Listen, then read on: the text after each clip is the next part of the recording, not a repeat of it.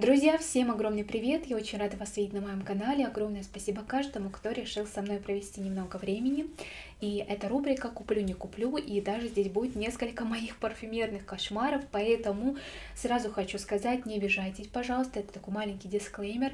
Это видео, оно не для того, чтобы оскорбить ваш любимый аромат, не для того, чтобы обесценить его в глазах людей, которые еще с ним не знакомы. Это лишь мое субъективное восприятие, и такие видео полезны, потому что мы понимаем, что похожи у нас вкусы, похожи ли у нас восприятие ароматов с тем или иным блогером, стоит ли что-то покупать слепую по его совету, либо же лучше воздержаться и перетестировать. Поэтому давайте будем рассматривать такие ролики именно с этой стороны, а не в плане того, что кто-то зафукал мой аромат, как он посмел.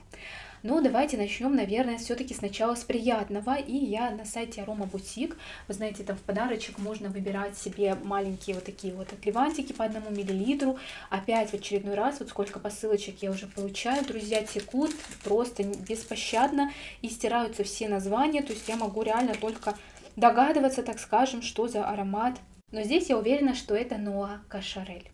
Когда-то давным-давно, когда я еще была больше таким начинающим бьюти-блогером, и тогда было всего там несколько бьюти-блогеров, я помню время, когда все бьюти таким как бы крутым блогерам стали высылать коробочки красоты Glambox, а потом L-Box. Да, эти коробочки, они очень даже были неплохие в своем наполнении, и они клали туда миниатюры ароматов. И у меня даже несколько миниатюр ароматов до сих пор есть с этих коробочек, и среди них был Ноа Кашарель, вот эта маленькая жемчужинка. И она мне категорически тогда не понравилась, вызывал дикую головную боль, по-моему, здесь лилия заявлена, хотя я вообще люблю лилии, но вот почему-то я с ним тогда не подружилась. А сейчас, спустя годы, я вдыхаю этот аромат и понимаю, что какой же он нежный, какой же он красивый, какой же он нюдовый. И он перекликается, вот первое, когда я только его нанесла, когда получила посылку, он для меня перекликается с, как его, Lacoste Pour Femme.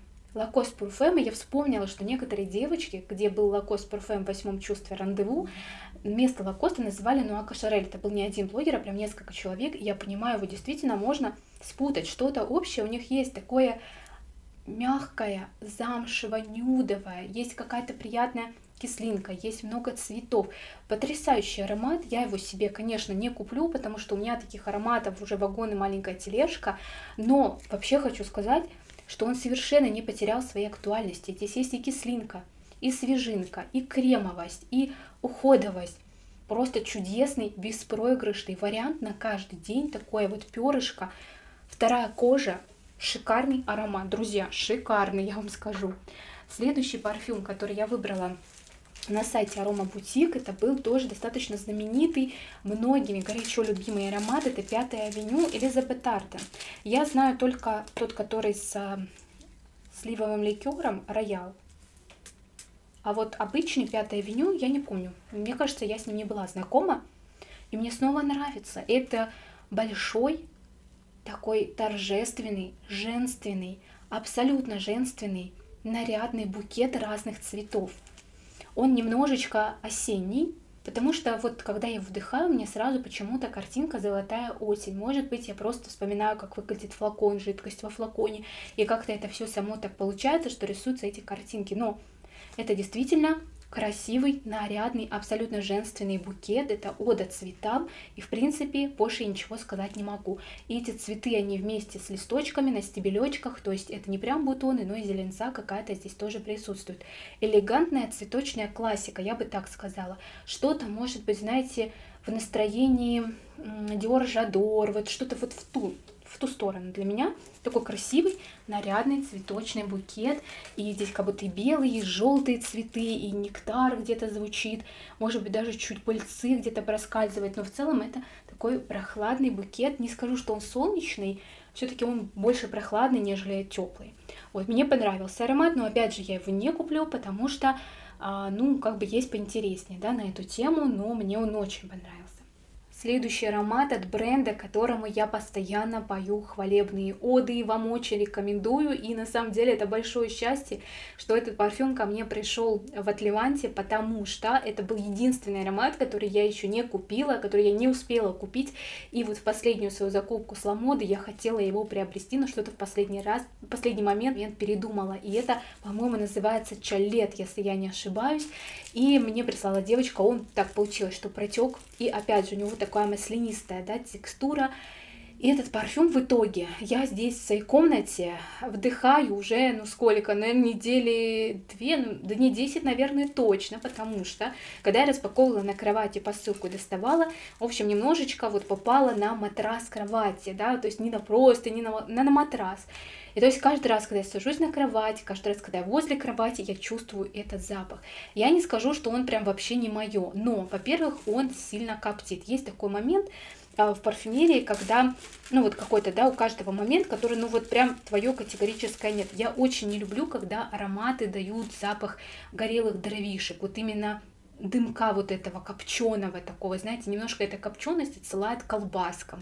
Вот, и здесь вот есть такой момент, и он очень яркий, и он перебивает для меня все остальные ноты. Но я потом, когда вот я хожу, все время чувствую этот аромат, вот он и зудит, и зудит, и звучит, и звучит, и вообще не собирается выветриваться, я понимаю, что он мне напоминает два аромата, которые я знаю, и один из них у меня есть, но просто там не настолько это коптит, хотя я, когда о нем рассказывала, тоже говорила, что чуть-чуть есть копчености. Это Бьянка Лаос Джардина Бенессера, который говорят, что он практически клон Fireplace Маргела, да, это аромат про камин, про дровишки, и Бьянка Лаос это аромат про деревяшечку, немножко копченую, немножко молочную, немножко ореховую. Там это все сменяется, там это все играет.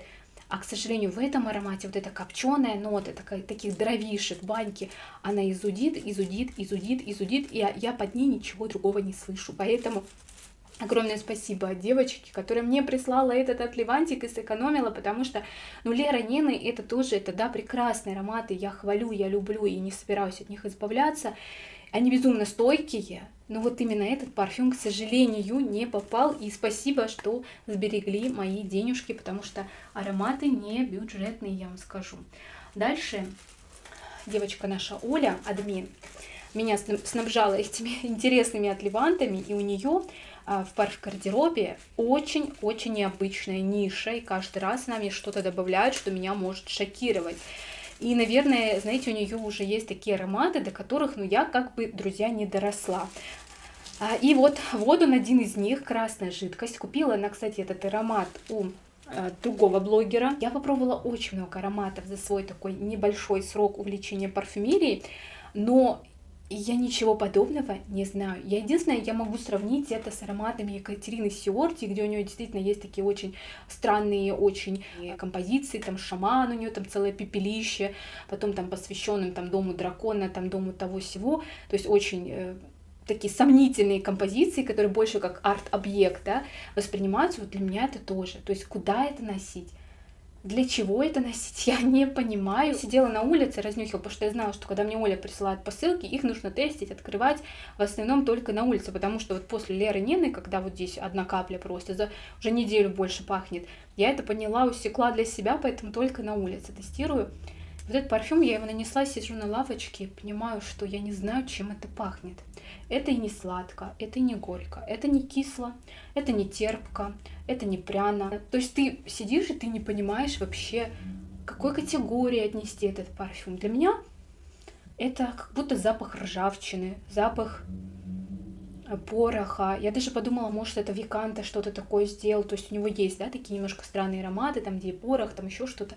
Я подумала, может, это что-то оттуда. Потому что, да, это пахнет нишево, это очень странно. Это, знаете, это как какофония для меня несочетаемых совершенно между собой нот. Вот когда оркестр настраивает шум такой сплошной диссонанс, вот для меня это этот парфюм. Душное, злобная, какая-то злобная духота. Вот ощущение, как будто тебя придавили могильной плитой, и, и тебе просто очень трудно дышать. Я, я не могу просто по-другому его описать. Хотя заглянула в пирамиду, там тубероза, там кофе, там еще что-то такое красивое, там посмотрела блогеров, там блогер, вау, вау, вау, это, это что-то нереальное. Нет, я не готова к, так, к таким экспериментам. Кто знает, может быть, пройдет несколько лет, и Карина будет снимать обзор на этот бренд и восхищаться, но пока что нет, нет. И если вы смотрите кого-то и думаете, и не дай бог, вы только-только погружаетесь в мир парфюмерии и думаете купить это, потому что дешево, ни в коем случае, обязательно только после затеста. Это очень странный аромат. Там еще был второй аромат от этого бренда, но я хочу еще раз его разносить, потому что мне показалось, что он неплохо открылся. Но старт там был тоже очень странный. Еще один парфюм, который мне понравился, но который я не куплю, потому что у меня есть очень-очень похожий аромат. Это Тенденеш Лоренцо чего-то там. В общем, этот парфюм мне много-много раз рекомендовали зрители, как очень пудровый аромат, очень красивый, я о нем читала. Я много раз его добавляла и убирала. Ну, в общем, в какой-то момент, в корзину имеется в виду, какой-то момент я, когда купила свою Аризу Гелиотроп, я увидела, что ее сравнивают как раз-таки с этим ароматом, и я после этого вычеркнула этот парфюм. И также его сравнивают с Bale Philip Энфил, который тоже я тестировала, я знаю, он тоже похож на мою любимую Аризушку Гелиотроп.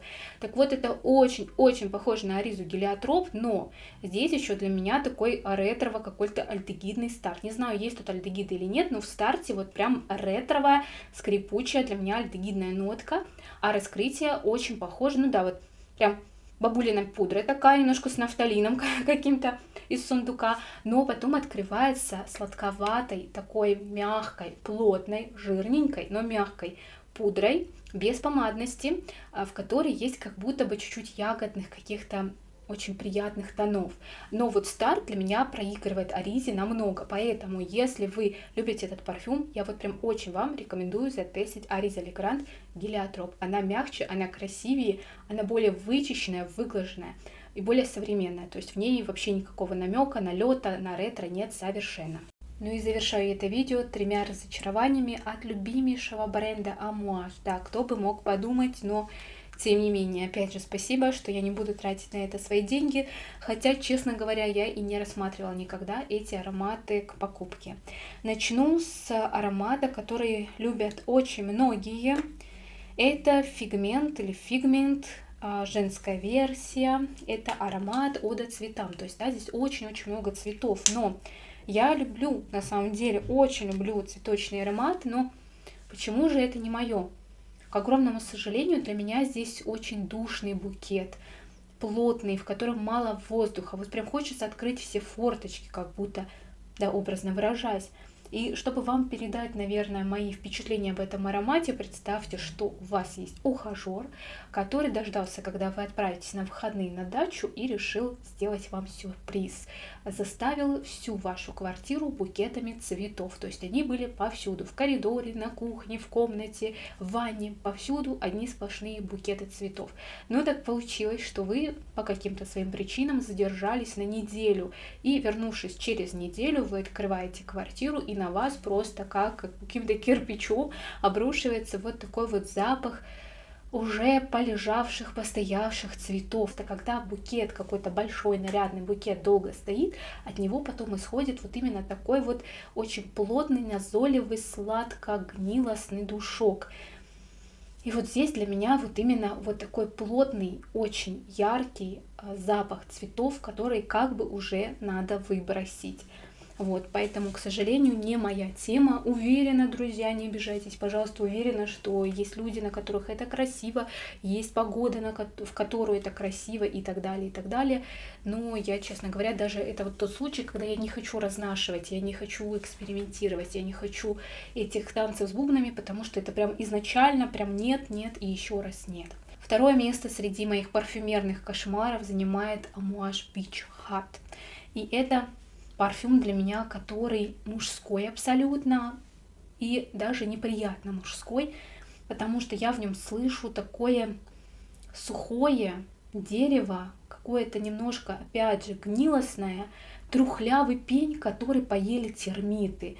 Вот знаете, он где-то валяется на задворках города. И эта деревяшка, она вот перебивает все остальные ноты. Первое, наверное, место я отдаю по моему парфюмерному нет, парфюмерному кошмару, я отдаю новинки Амуаш. Это Линеш, наверное, так.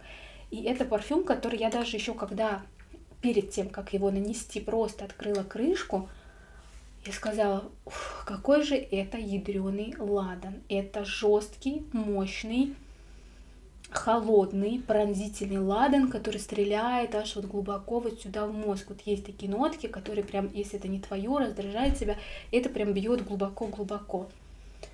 А, я сразу вспомнила в прошлом выпуске, у меня фигурировал бархатный ладен от э, бутиковой линейки Дольче Кабана. И вот для меня здесь очень похожий такой тяжелый ладен. Я сравнила пирамиды, действительно у них похожие ноты. Здесь у нас лабданум, здесь у нас мирость. Это, в принципе, вот эта тема благовоний, э, церкви, вот этих вот, да, воскурений. Но здесь много холода, здесь именно такой холодный какой-то, чуть-чуть медицинский, как будто ладан, церковный для меня, да. И когда я написала об этом в своем телеграм-канале, что для меня это один сплошной ладан, девочки мне стали писать, что для них это минеральный аромат, что это аромат э, морских камней, что это какой-то скандинавский аромат. Слушайте, я слышу один сплошной ладан. Может быть, здесь есть вот эта минеральность и холодность э, какой-то, не знаю, Норвегии, которая э, холодит прям этот ладан. Но я здесь слышу очень-очень явные вот эти вот мотивы на тему благовоний. В общем, это совершенно не мое, очень раздражающий запах лично меня. Я помню потом еще после того, как мне написали это все, я еще раз попробовала сделать за тест, нанесла на блотер, я не выдержала, я этот блотер просто выкинула и все это еще в ведре засыпала другими бумажками, чтобы он оттуда не проклевывался, потому что это, это прям, это мое парфюмерное фу, так скажем, мое парфюмерное нет. Ну а на этом все, мои дорогие друзья. Огромное спасибо каждому, кто досмотрел это видео до конца. Обязательно пишите о ваших парфюмерных кошмарах. Может быть, мой самый любимый аромат таковым является для вас. Пишите, мне всегда очень интересно. Спасибо за внимание. Увидимся. Пока-пока.